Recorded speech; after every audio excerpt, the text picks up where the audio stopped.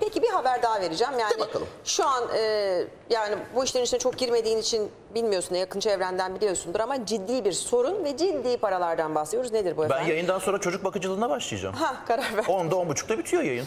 Bakıcı. Bebek anca uyanır. Önce diyorsun. Düşünsene iki ben zaten erken uyanır. Neyse haberi verelim de sonra konuşalım. Kısa bir süre diyorsun. Aynen. Bakıcı maaşları efendim 30-40 bin liraya dayandı. Yanlış duymadınız. Bakalım detaylara.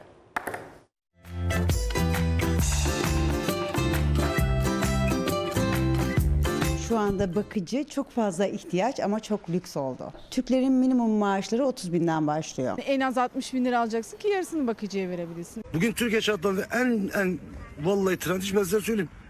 Evlerde yatılı çalışmak, çocuk bakmak. Hem bulmak zor hem çok masraflı bakıcı maaşları 30-40 bin liraya dayandı. Çok fazla.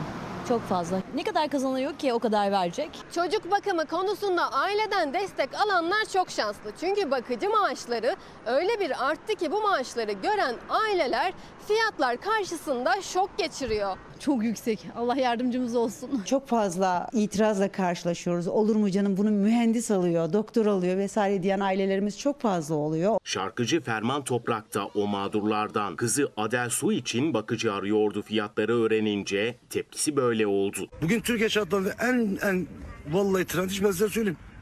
Evlerde yatılı çalışmak, çocuk bakmak. Abi 15 bin lira, 20 bin lira, 25 lira maaş beğenmiyorlar ya. Bakıcıya para yetiştiremediği için işi bırakan anneler bile var. Kaç yaşlarında çocuğun? 8 yaşında. Peki siz mi bakıyorsunuz yoksa bakıcısı mı?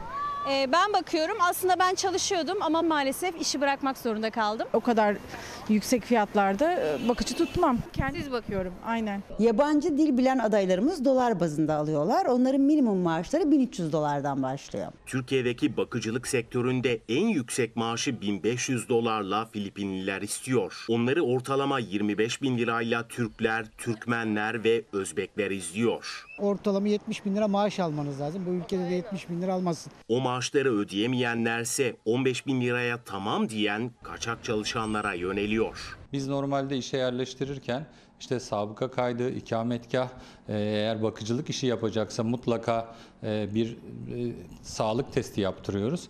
Bunlar hiçbir şey yaptırmadan direkt e, ailelere yönlendiriyorlar. Evet, bakıcı kara borsası e, başlıklı bu haberimizin altında. Yani nereden tutsan, hani işi bıraktım çocuğumu kendim bakıyorum. Zaten aldığım para ortada. Yani bir böyle bir bakıcıya sahip olabilmek için e, belli bir düz- düzeyin olması lazım. Kendi Besbelli evin bir olması düzeyin lazım. olması. Onu da yapan var. Her ülkede bir %10'luk kesim ciddi anlamda güzel para kazanıyor. Bugün Kamboçya'da gitsen, Vietnam'a da gitsen, hani dibin dibinde olan Venezuela'ya bile gitsen %10'luk bir kesim şahane bir hayat sürüyor. Dolayısıyla yani 1500 dolar Filipinli niye ister? Demek ki veren var.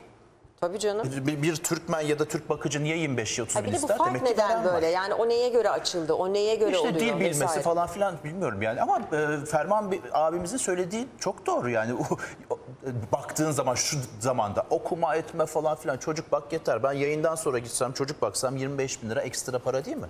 Ya sen bir çocuğu hani çocuğu falan yani güvenilir birileri yanında olsun diye tabii ki çocuk Ya bakımında güvenilir diyorsun da bak merdiven altına gelmiş işler. Ha, geldi kim tabii bilir ki. orada kim bakıyor ben de bakarım o da bakar vesaire vesaire. Kim yani, bilir? Yani neler gördük. Tabii bunların çok kötü Ve örnekleri en de kötü var. tarafı uzatmayayım Çok iyi da. örnekleri de var. En kötü tarafı şu özellikle kadınlarımızın iş gücünden kopuyor olması ve evlere kapanıyor olması. En kötü taraf bu. Kadın istihdamı giderek azalıyor bu durumda. Çünkü diyor ki ben bu kadar bir yerde çalışıyorum maaş mı kazanacağım? Ee, yoksa bakıcıya mı bakacağım maaş kazanıp Ee, çalışmayıp çocuğuma baksam çok daha karlıyız diyor. Bey böyle böyle diyor gidiyor. O yönde bir karar oturuyor. verilmek zorunda kalıyor. Fakat kadın istedikten sonra her yerde çalışır. Bunu da her zaman altını çiziyoruz. Evden Hayır, çalışma is- söz konusu yani şartlar artık. uygun olsa da istese de çalışmasa ya da çalışsa. Tabii ama hayır. hayat zorluyor seni. Evde otur çocuğuna bak diyor. Mutlaka ama çalışmak yani istedikten sonra da çocuğuna da bakarken online'da da çalışabiliyorsan ya da bir şey de üretebiliyorsan yani Ya sen de haklısın. e, anlatabiliyor muyum? Yani kadını da bir anda ben böyle bu hale öyle koymak ki. istemiyorum. Keşke öyle olsa. Herkes için şartlar iyi olsa haklısın.